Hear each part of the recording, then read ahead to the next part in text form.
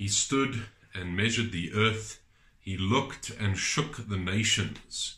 Then the eternal mountains were scattered, and the everlasting hills sank low. His were the everlasting ways. We are in Habakkuk chapter 3 this morning, considering verse 6. Not only is the power of God glorious back in verse 4, or fierce in verse 5, but God's power is everlasting. And we're going to be considering that this morning as we think through our own lives and what we face, even through this corona crisis period. This is our devotion 21 from Habakkuk. And we look this morning at the power of God that is everlasting, everlasting power. What God does and who God is is everlasting and has everlasting effects. But this verse also shows the way in which the judgments of the Lord embraces the whole earth as the earth has earthquakes and nature itself longs for the day of redemption. As sin has caused the very world to suffer. Creation itself has been subjected and plunged into the curse because of the sin of man. No longer did earth yield the kind of fruit and crops that it would. It would be by toil and suffering that we would eat. No longer would the lion lie down with the lamb or eat grain, but it would eat the sheep. And at God's fierce power, even the earth quakes. That's the response that the earth has to the power of God. How much more should our response be of quaking before Him? And that which we would look at and say, well, that is eternal. That was there when my great grandfather was there, or my grandfather was there, or my father was there. How much does that, that even is eternal, shown in the light of the eternality of God to be that which is but a moment? Romans 8, verse 22 to 23 says this For we know that the whole creation has been groaning together in the pains of childbirth until now. And not only the creation, but we ourselves, we join as Christians with creation groaning, who have the first fruit of the Spirit, groan inwardly as we eagerly wait for adoption as sons, the redemption of our bodies. What is emphasized in our section, though, is the way in which God crushes that which we seem to see as eternal or everlasting, and He shows Himself indeed as the only one that really is everlasting. And the earth, this earth that we know, will one day pass away. But the word of the Lord will remain forever. And I believe that there is a theological, eschatological hint even in this one verse this morning. Because there will come a day when Jesus returns to this earth at the beginning of his earthly thousand year reign, where, where he reigns from Jerusalem and where he lifts Jerusalem up as a great diadem on a ring, and all other mountains and in the surrounding area are made low. Look with me, if you will, at Zechariah 14, verse 3 to 11. Then the Lord will go out and fight against those nations as when he fights on the day of battle. On that day his feet shall stand on the Mount of Olives that lies before Jerusalem on the east, and the Mount of Olives shall be split in two from east to west by the very wide, a very wide valley, so that one half of the mount shall move northward, and one other half shall move southward. And you shall flee to the valley of my mountains, for the valley of the mountains shall reach to Azal, and you shall flee as you fled from the earthquake in the day of days of Uzziah king of Judah. Then the Lord my God will come, and all the holy ones with him. On that day there shall be no light, cold, or frost, and there shall be a unique day which is known to the Lord, neither day nor night, but an evening time, at an evening time there shall be light. On that day, living waters shall flow out from Jerusalem, half of them to the eastern sea and half of them to the western sea. It shall continue in summer and in winter. And the Lord will be king over all the earth. And the Lord will be king over all the earth. On that day the Lord will be one and his name one. The whole land shall be turned into a plain from Geba to Rimmon south of Jerusalem. This is the point that I'm making is that there will be a day where those everlasting hills that have formed the landscape of Israel will be made low, but Jerusalem shall remain aloft on its site, from the gate of Benjamin to the place of the former gate to the corner gate, and from the tower of Hananel to the king's wine presses, and it shall be inhabited. For there shall never again be a decree of utter destruction. Jerusalem shall dwell in security. This has not yet happened. Even now, as Jerusalem occupies the land that it has since 1948, it has never dwelt in this kind of a setting of verse 11 of, of Zechariah 14. Jerusalem shall dwell in security. Even recently in the news, we find rockets that are being shot into Jerusalem.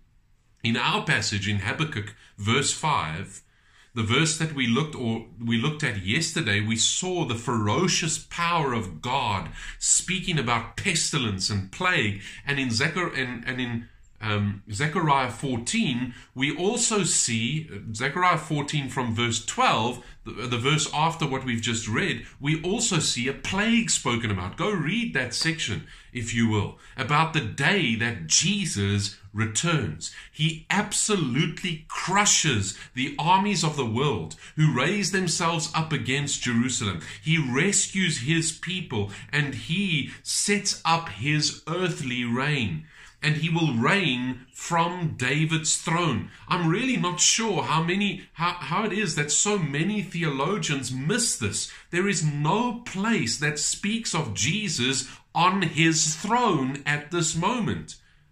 Look for it, you won't find it. He is indeed seated at the right hand of God. When we speak about the Lord reigns from his throne, I hope you mean the Lord Yahweh, not the Lord Jesus, because Jesus will still sit upon the throne of King David. There are prophecies referring to Jesus' second coming where he will reign. But at this time, he is seated at the right hand of the Father. The Father is indeed sovereignly ruling over all things. Even the devil is God's devil, as the phrase has often been used. But at this moment, our Lord Jesus' role and his work currently is a media, mediatory work. It is an intercessory work for his church.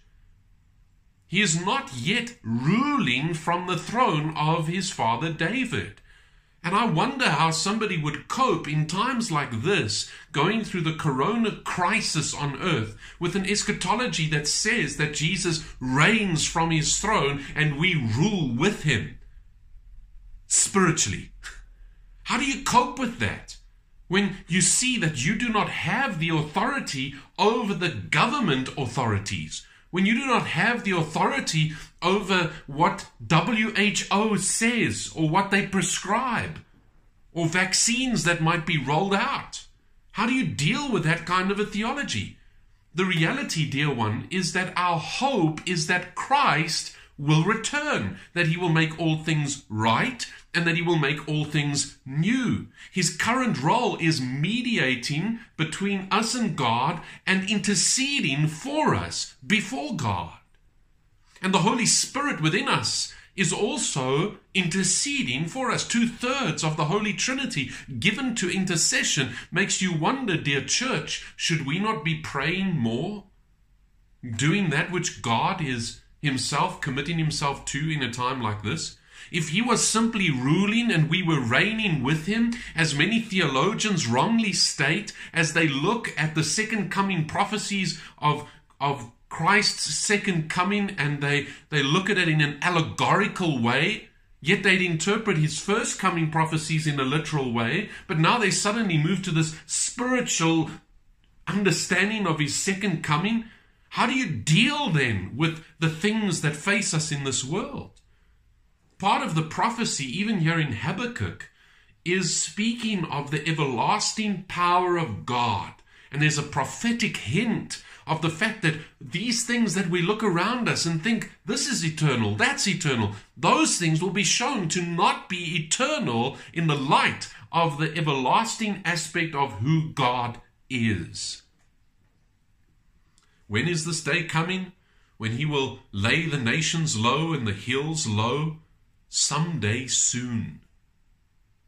He is the God who is from everlasting to everlasting. Listen to the prayer of Moses, which also highlights this truth for us about the power of God. This is Psalm 90, and you can turn there in your Bibles and we'll read through that from verse 1 to 17. A prayer of Moses, the man of God. Lord, you have been our dwelling place in all generations. Before the mountains were brought forth. Notice that. Before the mountains were brought forth or ever you had formed the earth and the world. From everlasting to everlasting, you are God. You return man to dust and say, Return, O children of man, for a thousand years in your sight are but as yesterday when it is past, or as the watch in the night. You sweep them away with a flood. They are like a dream, like grass that is renewed in the morning. In the morning it flourishes and is renewed. In the evening it fades and withers. For we are brought to an end by your anger. By your wrath we are dismayed. I believe there's a prophetic hint even in this prayer of Moses because there's a group of, of the nations that are swept away at the second coming of Christ. And at the end of that thousand years, what happens? They've rejuvenated and Satan is released and he deceives the nations once more. And again, they are swept away. For we are brought to an end by your anger, by your wrath we are dismayed. Verse 8 You have set our iniquities before you, our secret sins in the light of your presence. For all our days pass away under your wrath. We bring out our years to an end like a sigh. The years of our life are 70, or even by reason of strength, 80, yet their span is but toil and trouble. They are soon gone, and we fly away. Who considers the power of your anger and your wrath according to the fear of you? So teach us to number our days. What a wonderful section in this passage. Go and read the rest of that and you see the everlasting power of God, we ought to be those that live in the light of the fact that our God is from everlasting through to everlasting. There's a level of accountability which we have before Him because we will give an account. There's a level of brevity because this life will soon be over. There's a level of dependency, and even at the end of that Psalm, Psalm 90, it says, Establish the work of our hands. There is a responsibility underneath the sovereignty of God. But, dear one, consider this morning the everlasting power of God, the one who is from everlasting through to everlasting. What trials in your life are everlasting trials? And let me tell you one everlasting problem that mankind has. The greatest problem that any human being will ever have. It is not economic. It is not a health issue like the coronavirus. It is not family issues. It is not cultural issues. It is not the past of apartheid or of colonialism or the way that we have been unjust to one another throughout the ages as mankind. The biggest problem that mankind has is a God problem. That's the biggest problem that we have. It is an everlasting problem. And it is only Him who is everlasting and risen from the grave. God Himself, incarnate, our Lord Jesus Christ, who can solve the everlasting problem that you and I have with God because of our sin. We are those that need to be laid low as well before God in humility and call upon the Lord Jesus Christ to save us. We need to be those that, because of the everlasting nature of who God is, turn to Him for the everlasting forgiveness that is found in Jesus Christ alone. All of those nations that rage against Him, Psalm 2, will be laid low. Let us not be those that reject the free offer that we are given in our Lord Jesus Christ. Just as the Father is everlasting, so is his love. His love is everlasting and poured out to us and to our own hearts through the Lord Jesus Christ. It is only by Jesus, by his perfect work, by his perfect person, that we are able to enter into everlasting life. Dear one, what trial is it that you're facing? What is it that is causing you to possibly question God or do something similar to what Habakkuk was doing with his two complaints? When we consider the everlasting nature of who God is and his tremendous power, may we continue to take great comfort to live today for his glory as we think about the fact that He is already in tomorrow, it gives you and I strength to live today in a way that He will be glorified. May God bless His word to your own heart as we consider the everlasting power of God. Amen.